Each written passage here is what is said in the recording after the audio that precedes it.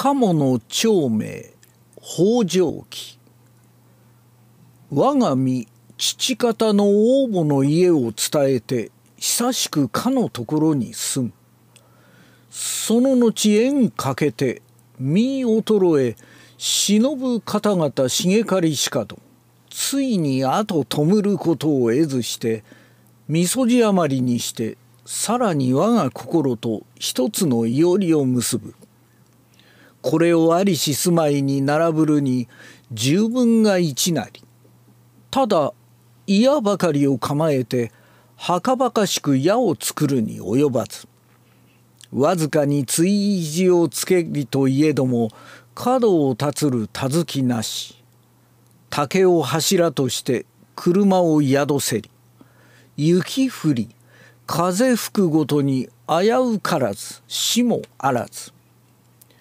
ところ河原近ければ水の難も深く白馬の恐れも騒がしすべてあられぬよう念じ過ぐしつつ心を悩ませること34年なり。その間折々の互い目におのずから短き運を悟りぬ。すなわち磯路の春を迎えて家をいで世を背けり。もとより妻しなければ捨てがたきよすがもなし。身に貫禄あらず何につけてか衆をとどめん。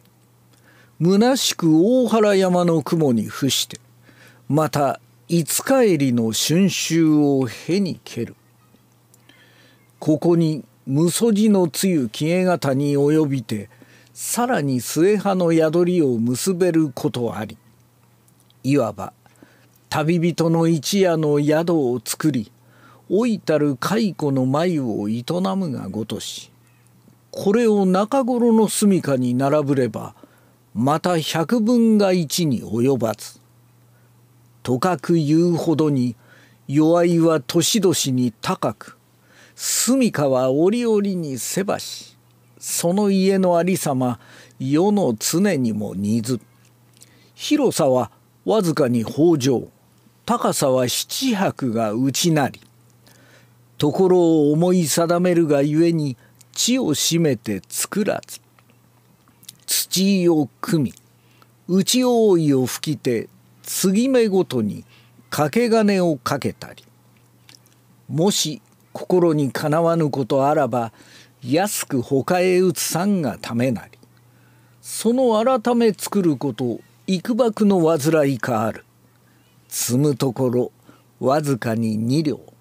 車の力を向くほかにはさらに他の用途いらず。